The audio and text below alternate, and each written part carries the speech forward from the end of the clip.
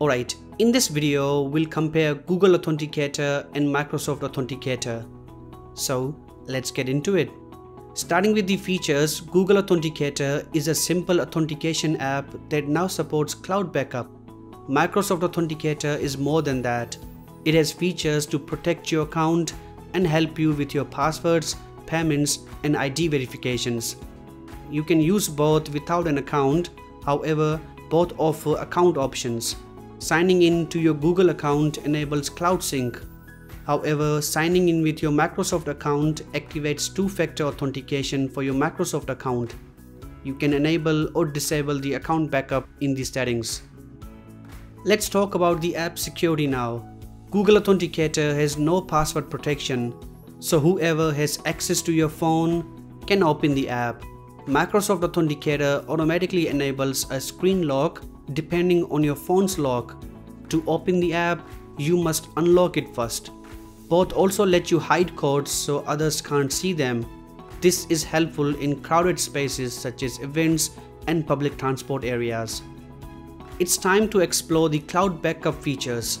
Microsoft Authenticator had this feature for a long time. Google has just joined the club. In Microsoft Authenticator, you must sign in with your account to enable the cloud backup the backup option is in the settings. To recover codes, you must use the same account on your new device. With Google Authenticator, you can choose the account on the top right. When the sync is enabled, you will see this green cloud icon.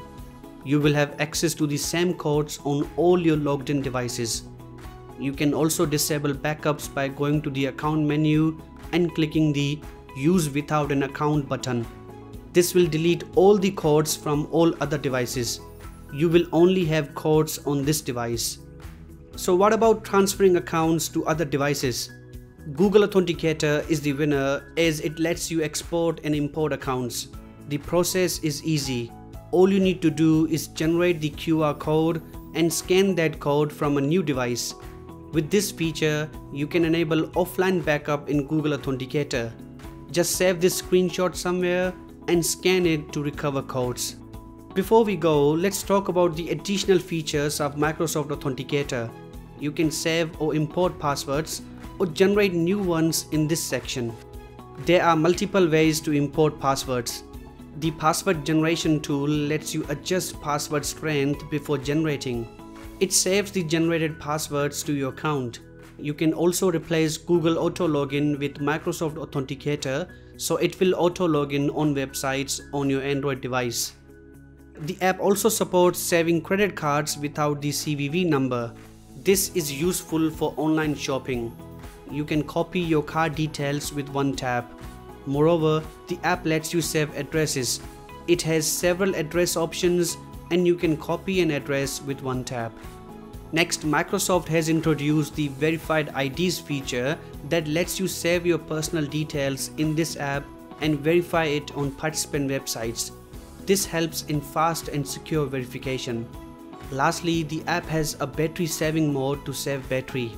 Although I have never seen this app using much battery, it is here if you want to. So which one is for you?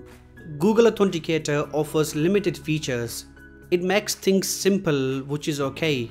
However, I suggest using Microsoft Authenticator, especially if you change your phone often, forget it, or lose it. It has more features and may help in emergency situations. With that said, this is it for this video. Thanks for watching.